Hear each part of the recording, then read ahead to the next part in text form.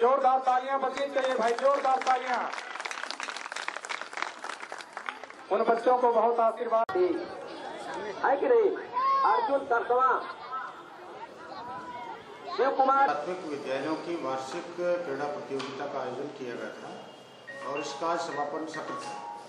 समापन सत्र पर जिन बच्चों ने जिन विद्यालयों ने प्रतिभाग किया है और विजेता उपविजेता जो रनर अप रहे हैं बच्चों को जो है पुरस्कृत किया गया है। इससे क्रीड़ा प्रतियोगिता आयोजन का मतलब ये है कि बच्चों का जो है शैक्षिक विकास के साथ साथ जो है शारीरिक विकास भी